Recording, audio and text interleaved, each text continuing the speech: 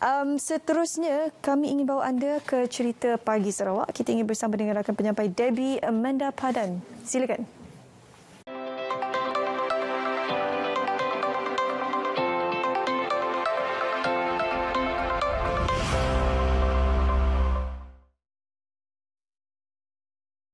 Terima kasih rakan setugas saya di Studio Sama Pagi Malaysia.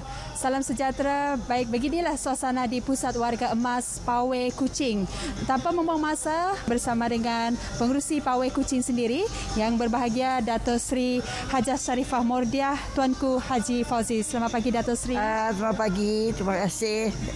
terima kasih kerana sudi bersama dengan kami di Selamat Pagi Malaysia pada hari ya, ini. Ya, ya. Baik Dato' Sri, uh, seperti kita sedia maklum ya, uh, pandemik COVID-19 ini banyak memberi uh, kesan kepada kita termasuk aktiviti di Pawai ini sendiri. Ya. Namun selepas uh, diberikan kelonggaran untuk melakukan aktiviti di luar dan semestinya di pusat uh, warga emas ini juga kembali ceria. Ya. Baik uh, mungkin Datuk Sri boleh kongsikan kepada penonton di Sama Pagi Malaysia. Terima kasih uh, uh, selaku pengurusi Pawai uh, memang merasa ceria dan uh, dan merasa kebanggaan kerana uh, kita boleh uh, membuat semula aktiviti pawai di mana ahli-ahli pawai pada masa ini mereka memanglah uh, tertanya-tanya uh, bila aktiviti boleh dijalankan.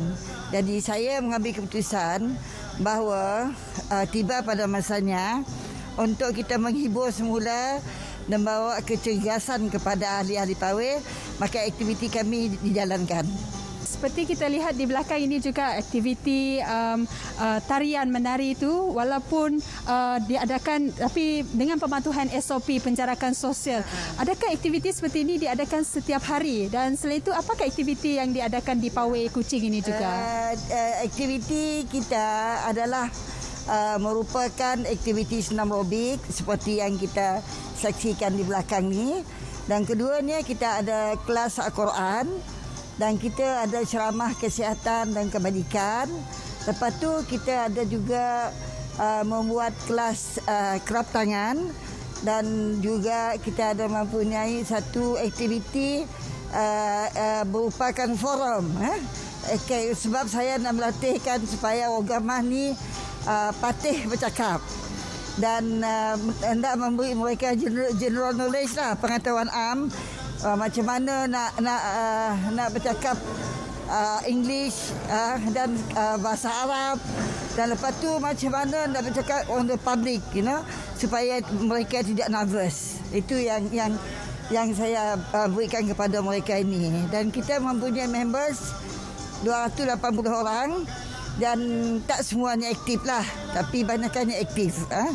ya dan eh, saya dapat melihat dan merasa mereka sungguh gembira dan mereka sungguh ceria dan mereka beranggapkan masih orang sayang dengan dia orang walaupun sudah tua.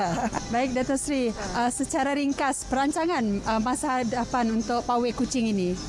Perancangan kita memang uh, dirancang di mana saya lebih menumpukan kepada uh, program ilmu dan juga uh, kesihatan dan uh, berkemungkinan kalau diizinkan kita akan hendak membuatkan satu tempat khas untuk aktiviti uh, apa ni uh, pawai ni.